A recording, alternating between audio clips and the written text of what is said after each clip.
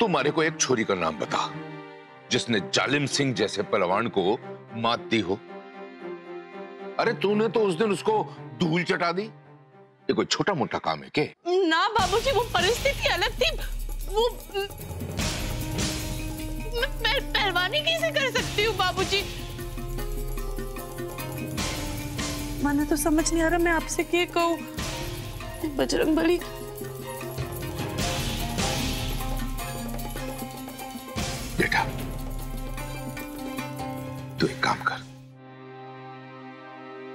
फ़िलहाल। तू कुछ ना बोल। मैं चाहता हूँ तू हमारी बात पे विचार कर। और जब तू किसी फैसले पे पहुँच जाए, सबसे पहले मारे को बताए।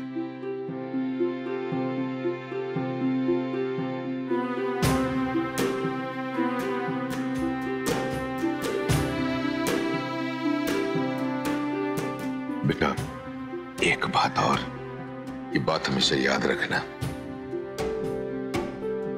कि जो कुश्ती है ना, ये उम्मीद की वो छोटी सी किरण हो सकती है जो तेरे वैवाहिक जीवन में अंधकार है ना, उसमें रोशनी ले।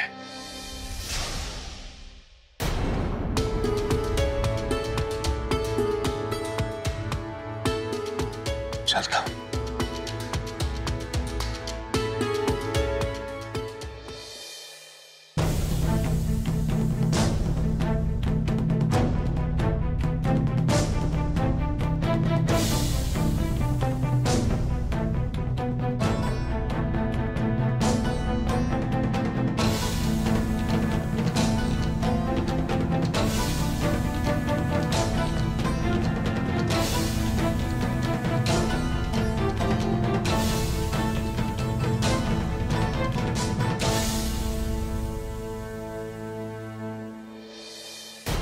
हमारे को पूरा यकीन हो चला है कि महेंद्र बाई का जो अधूरा सपना है, उसे पूरा करना थारे नसीब में लिखा है।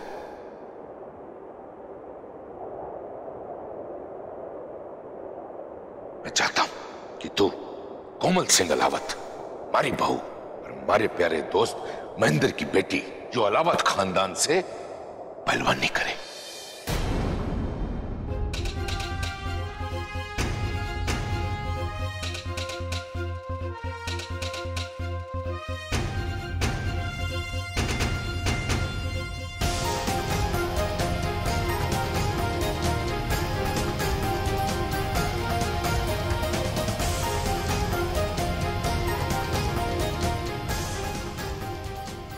रखना कि जो कुश्ती है ना, उम्मीद की वो छोटी सी किरण हो सकती है। जो तेरे वैवाहिक जीवन में अंधकार है ना, उसमें रोशनी ले।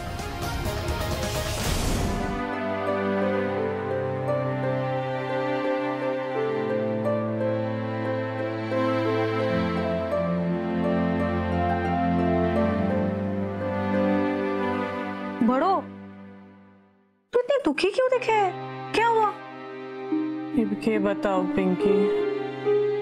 मैंने लगा जब लक्की जी चेन्नई से मन्ने लेने आए तो सब ठीक हो जाएगा कि मेरी ज़िंदगी का एक अच्छा समय शुरू होने जा रहा है।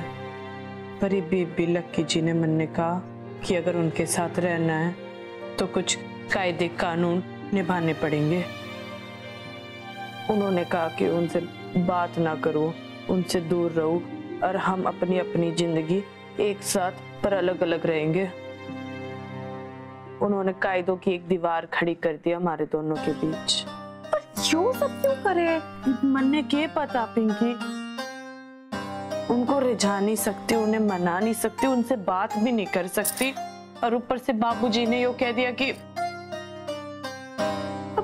बड़ो बाबूजी ने क्या कह दिया? आप बोलते बोलते रुक जावे तू।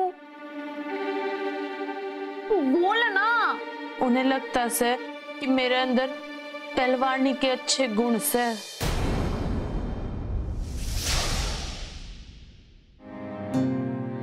वो थारे को तो पता है ना बेटा हमारे इस घर में सुनता कौन है? और जब थारे बाबूजी ने मना किया था तो फिर मैं कैसे बोलती? यो बाबूजी भी ना इस बार तो उन्होंने हाथ पार कर दी। माँ बाबूजी ना हमारी खुशी ना बर्दाश्त ना कर सकते। ना बेटा ऐसे ना कहते। वो थारे बाबूजी है। वो थारे बारे में जो भी सोचते हैं जो भी करते हैं थारे भलाई के लिए करते हैं। भलाई? कैसी भलाई? कौन सी भलाई? अरे माँ बाबूजी ने हमारे वास्ते किया किया है। अरे उनको इतनी बात समझना आती कि हमारी भलाई तब थी जब बड़ो घर छोड़ कर गई थी माँ।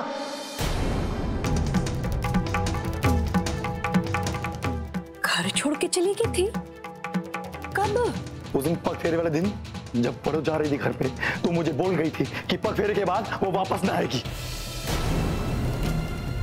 और बाबूजी उसे घसीट कर हमारी ज़िंदगी में वापस ले आए। लखा क्यों क्या बोल रहे तू? सच बोल रहा हूँ माँ। अरे अच्छा भला मैं चेन्नई गया था। बाबूजी ने वापस बुला लिया। उनको हमारी खुशी बर्दाश्त ना है माँ। सब उस मोटी के बारे में सोचते हैं हमारे बारे में कोई ना सोचता। बेटा क्यों चिंता कर रहा है?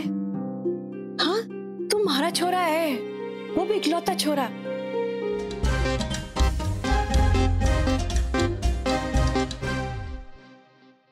जी यो गुलाब की पंखुड़िया।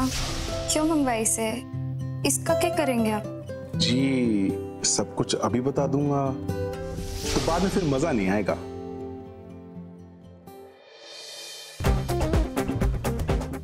यो गुलमन ने ना खिलाए इसे घूर घूर के ना देखिए।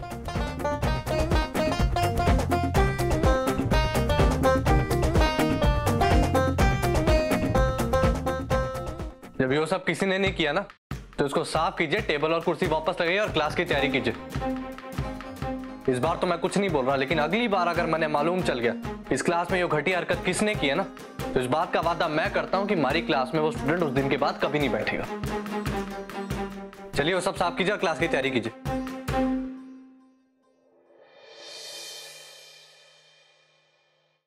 यूँ सब किसने किया? मैंने ना पता ये बात होगी प्रज्ञा जी। कोई बहुत इंपॉर्टेंट बात कर रहे हो तो पूरी क्लास को बता दो। पूरी क्लास जान लेगी। कुछ नहीं। होमवर्क तो किया होगा आपने कि वो भी नहीं किया? हाँ। यो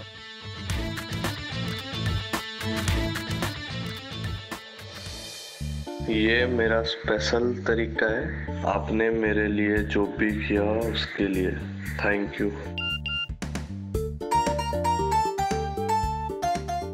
कैसा लगा मेरा सरप्राइज़ बोला था ना मुझे आपसे कुछ कहना है। देखा कह दिया ना मैंने अपने स्टाइल में।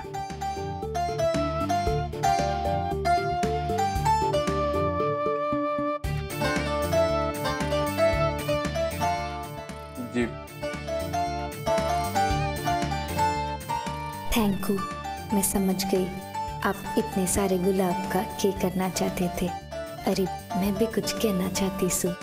थैंक यू जी।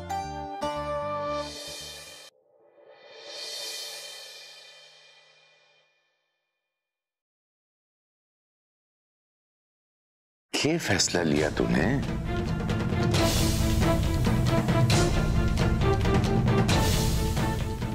अरे बोलना।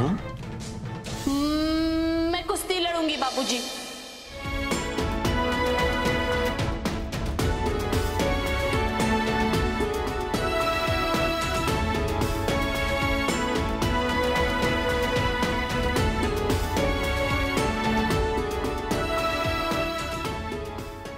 बहुत बढ़िया। तो बहुत अच्छा फैसला लिया बेटा। वो रघुवीर भाई जी सुबह मारे घर, मारी सहमति के लिए आए थे कि कोमल बिटिया को पहलवानी करवाने के सिलसिले में बड़े सोच विचार के बाद फैसला ले लिया से। मारा फैसला, यो से मारी छोरी और आपकी बहू को मैं पहलवानी करने की इजाज़त